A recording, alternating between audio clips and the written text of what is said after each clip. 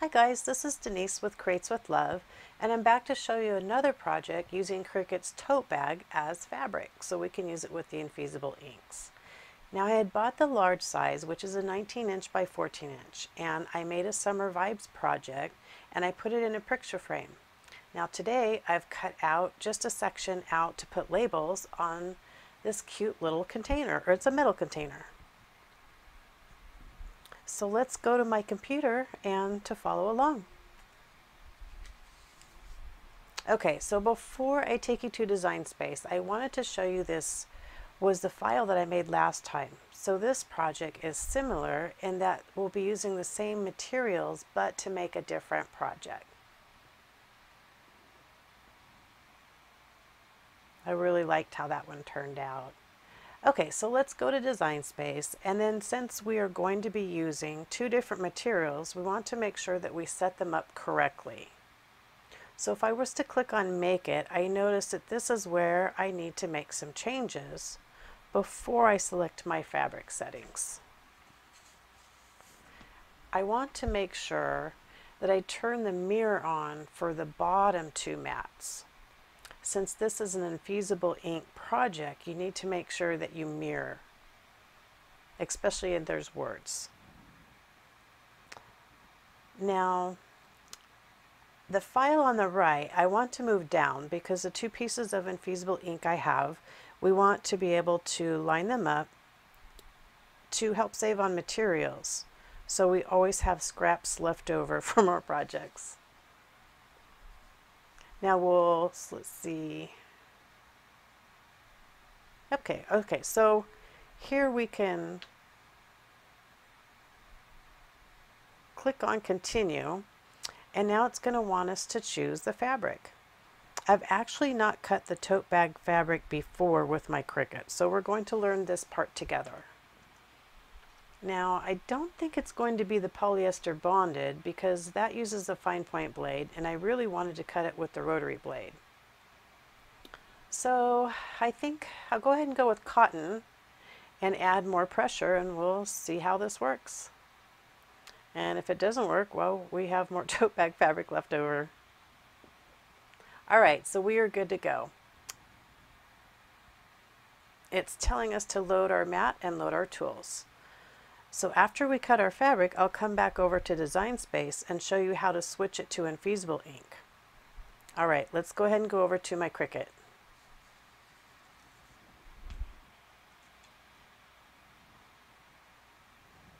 Okay, so I'm going to add my tote bag fabric with my brayer and ensure that it's smooth. I already have my rotary blade inserted, so we'll load the mat and then we'll hit go.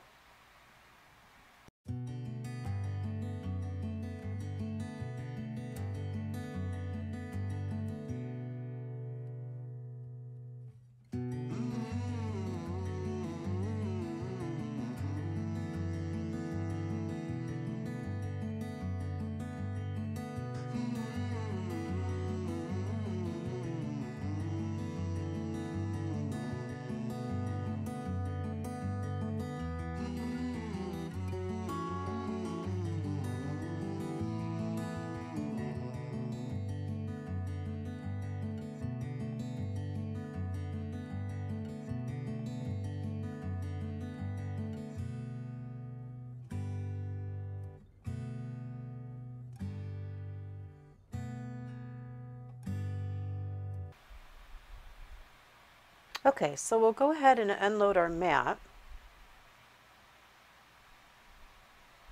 And it looks like it's sort of cut with some gaps. Just trying to peel carefully and see what we got going here.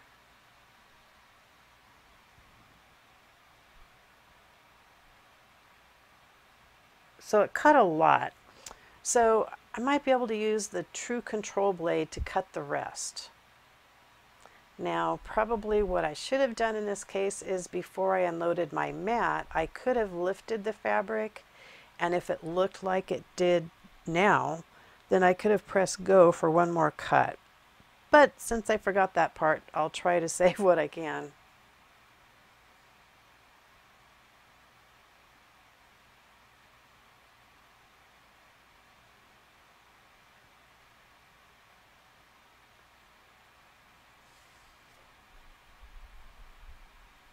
Now, it's possible we would want to select a heavier fabric like a canvas instead.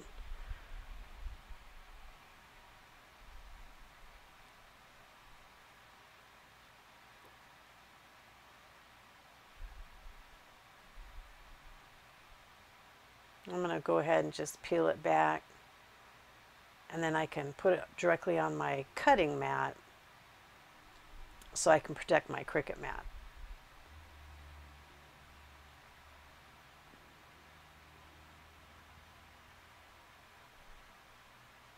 So just a couple little slices here and we should be good to go.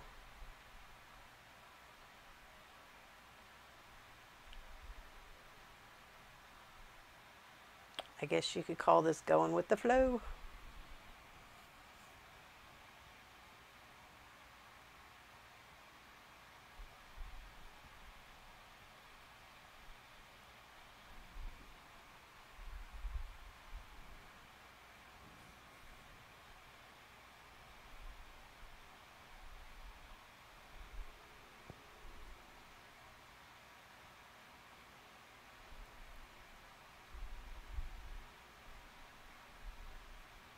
Just trim a couple of these little threads off here.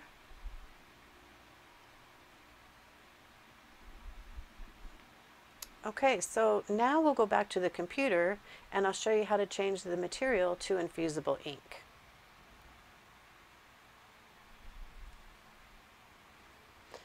Okay, so we're now back at Design Space and I need to change from my cotton setting to infusible ink.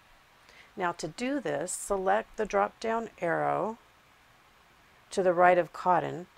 And now I already have infusible ink set as a favorite. If you want to save it as a favorite, select browse all materials and locate it and then click on the star to the right of the infusible ink transfer sheet. It'll be easier for next time. All right, so once we have that selected, We'll now switch to our fine point blade so we can finish our project. Now while this is cutting, I'm going to set my Easy Press 2 to 385 degrees. And when we first press it, it'll be 15 seconds. That'll be the time where we want to just smooth out any wrinkles or to draw out any moisture from the material. And then once we add the, the Cricut uh, ink transfer sheet, then we'll select 385 again, and, but we'll do it for 40 seconds. So now these are the settings for the Easy Press 2. If you have an Easy Press 1, make sure to check with Cricut's help page and they have a little drop down selection where you can choose which Easy Press you have and which materials you're working with and it'll give you all of the, the detailed instructions that you need. It's super, super helpful. And if you missed one of my previous videos, I actually show you step by step how to save Cricut's help page to your telephone or your computer. So we can load the next mat and while it's cutting I'll go ahead and speed through the weeding for you. Before I do that I want to show you how this is the correct way to take off your ink transfer sheets from your Cricut mat. I find it very helpful to do it this way.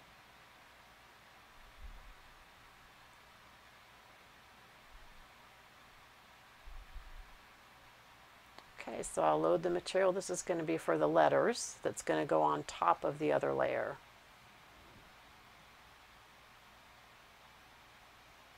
All right, I'll start the weeding and I'll see you back here in a bit.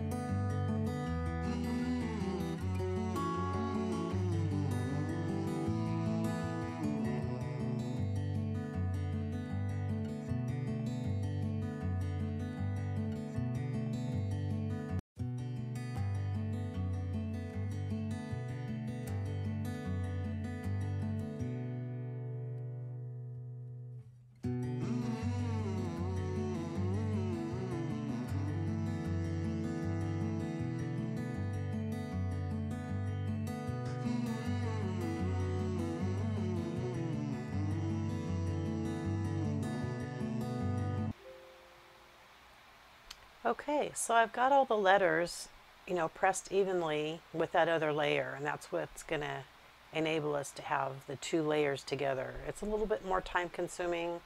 You know, if you were to have used a cursive um, font, then it would have been a little bit easier. Okay, so what we're going to do is preheat.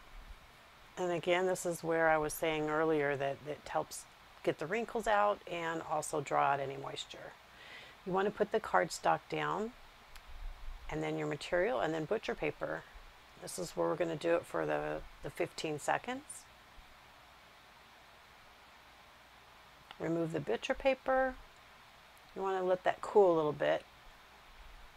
I'm just using the lint roller to make sure that there's no fibers or hairs stuck on there. I want it to cool off a little bit because with this, I'm going to be pressing it straight over. Excuse my head getting in the way. But you want to just make sure that you line it up as straight as you can. And it's got that, the sticky part of the transfer sheet, so it's going to stay there somewhat, but you just want to be really careful not to move it until you get that heat press on it. And then of course, once the heat press is on it, you don't want to move the heat press. Otherwise it'll ghost or mess up the image or smear it. So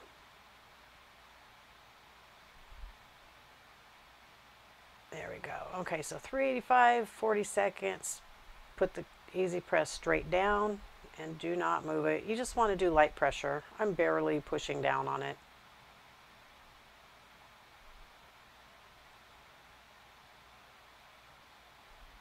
I love having this little easy press. It's so cute when you're working on something small, why big, you know, why drag out the big one? So here you want to let it cool. I'm going to carefully move it to the side, very carefully so that nothing adjusts. And that way I can get started on the second one. So it's funny, here I used my brayer instead of my lint roller. I didn't even realize it until I was having some video issues and it's what actually took me longer to get this video out was because I had so many sound issues. Anyway, so it, was, it kind of cracked me up that I actually used the brayer instead of the lint roller. So I'm letting it cool down again and press it straight down, ink side down, transfer sheet up. try to line it up as straight as possible. And that cardstock is just to protect my Cricut mat so no ink goes through it. And there's the butcher paper. And then again, I'll just move my hand very carefully, put the heat press straight down, 40 seconds at 385. Again, just light pressure. Do not move the heat press. and straight up. And we'll move the other one over. Okay, and it's completely cooled down. This is where you want to peel it back, and you see those little pieces, the R and the and the B. Even though they seemed really loose, you want to move them and just make sure that you move them with your tweezers and not your fingers, just in case and then a little bit of it kind of stuck to my cardstock paper, which is really no big deal. It came up super easy with my little spatula tool. Anyway, it turned out so cute. And that's the idea is I'm going to be putting them on the outside of that metal container. So vibrant. Okay, so let's, the other one is cooled down, same thing. Anything still on there, you're going to remove it with your tweezers and not your fingers, just in case and this one stuck a little bit as well. There we go. So that see, you see the ink that got on there, had I not used that cardstock, that would be on your Easy Press mat and you don't want that.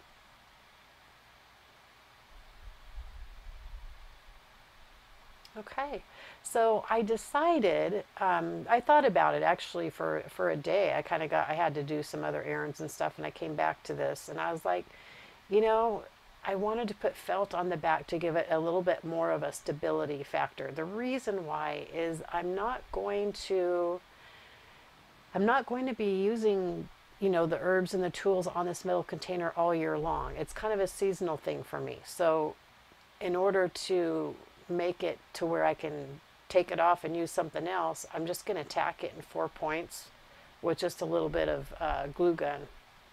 So that's why I added the felt. That way it would never tear through on the actual infusible ink part of the fabric. So I glued the felt on with uh, just a glue stick. You could use really any glue for that. And then I had this braided trim on hand and I really like using it because it gives that little frayed effect. So I'm just using my glue gun here. By the way, this is my favorite glue gun. Having no cord in the way is awesome. I use it all the time and I've got a battery backup. So I've always got a battery rearing to go. So I just love it, especially for projects that you're working on a long time. But it's also super good for those quick things like you're like, okay, I need to glue something. And it takes like, no kidding, 30 seconds to heat up and you're good to go. Anyway, so I'm just adding this braid on there for the trim.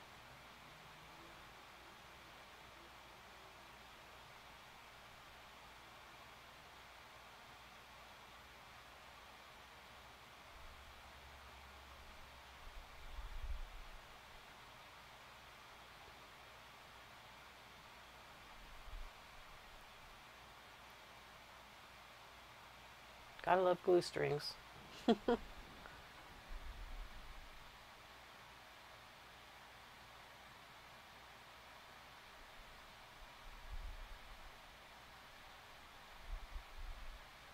and just finishing up the other half.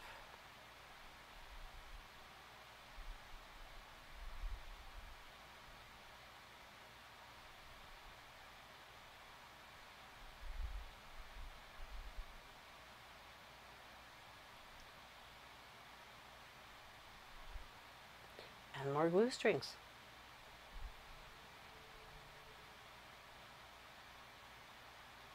I'm trying to keep the glue gun out of the way for y'all to see, but I think it kind of messed up my angle on part of the braid, but it's all right. Just gives it more personality.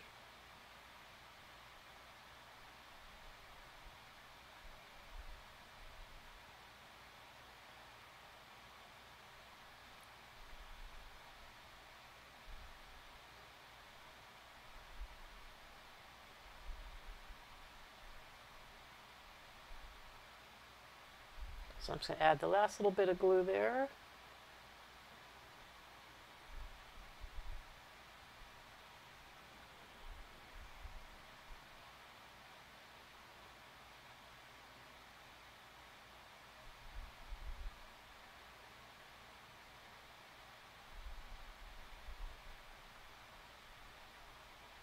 See me there just turning off the glue gun.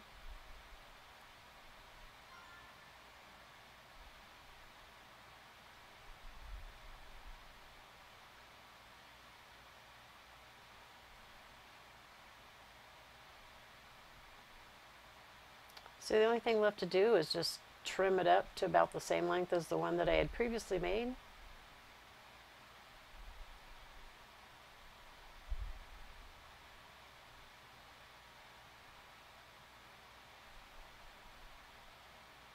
And kind of combing out the braid, if you will, just separating the little strings to give it that little bit of frayed look.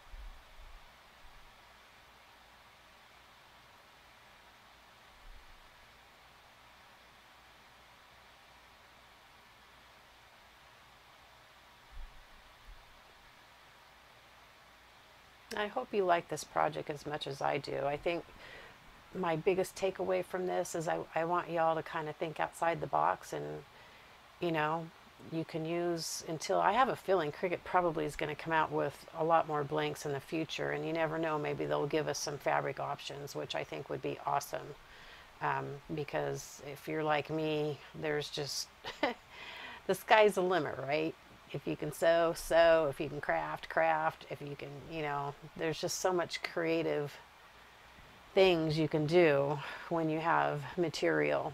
And I liked doing it this way. And, you know, Cricut bag, tote bags are only a certain size. So, but my aim with this is to show you how many different projects we can get out of it. In the video there, I was just showing how what I'm going to do is put a vase or a, a, glass of water in there with some herbs. And I already have some tools that my mom let me borrow uh, from her yard. She had some garden art going on, and I think it was actually my dad's garden art, but they're letting me borrow it uh, for this project.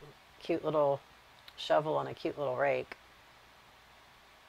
Anyway, so I did tack these on with just four different spots with the glue gun in the back. That way I can remove it very easily for any other, you know, I can stick something else on that little container or use it for, for something else.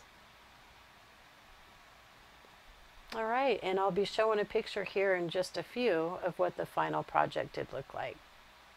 So be sure to come back. I have more projects to use with the Cricut bag, uh, tote bag material.